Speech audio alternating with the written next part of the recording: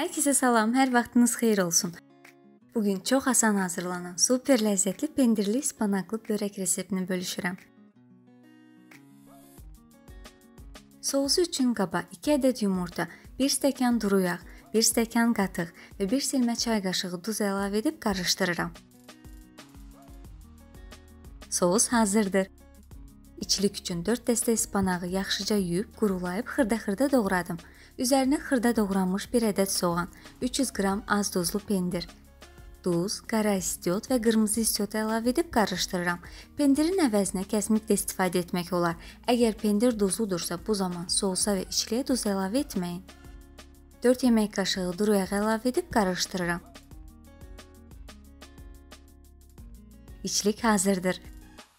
Lavaşın üzərinə sousdan gəzdirib hər tərəfinə yayıram.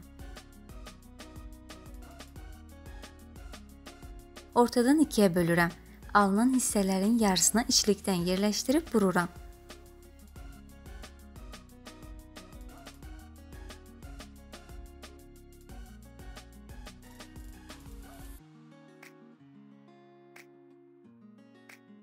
Yağlı kağız sərdiyim soba lisinə yerləşdirirəm. Qalan sousu isə üzərinə çəkirəm.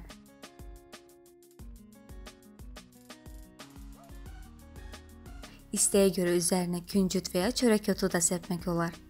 Börəyi əvvəlcədən 200 dərəcədə alt üst rejimdə qızdırdığım sobada üzəri qızaranaədək bişirirəm. Börək hazırdır. Həm isti, həm soyuq halda çox-çox ləzzətlidir.